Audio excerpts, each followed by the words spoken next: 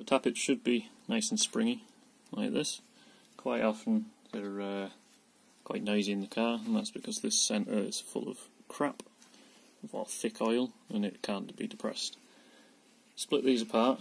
The easiest way is to just wrap a rag all around, so you've got a nice purchase, and then hit it against something soft. I use a bit of cardboard or some wood.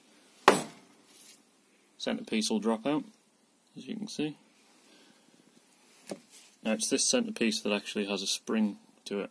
There's a spring in the middle of here, and a little ball bearing valve. Free it up, take a little flathead screwdriver, press on at the ball bearing, and you'll see that has gone in slightly and filled it with a lot of black, horrible oil. So just get a rag.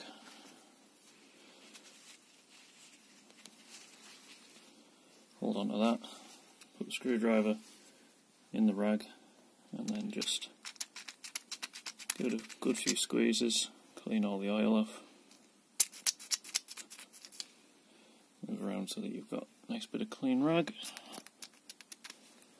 And that should now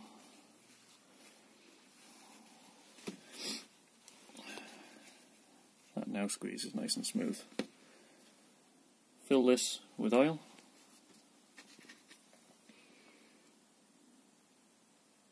Just to the brims. That's only about half full because there's a, a lip. And then all you do is pop the centrepiece in, press it down, and now that's nice and smooth.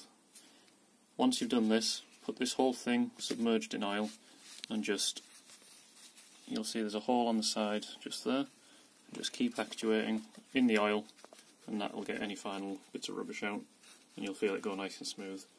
Submerge them in oil overnight and that'll help fill them up as well before you fit them to the car. They may run a little bit noisy when they're in the car but then hopefully should resolve any tapping noises.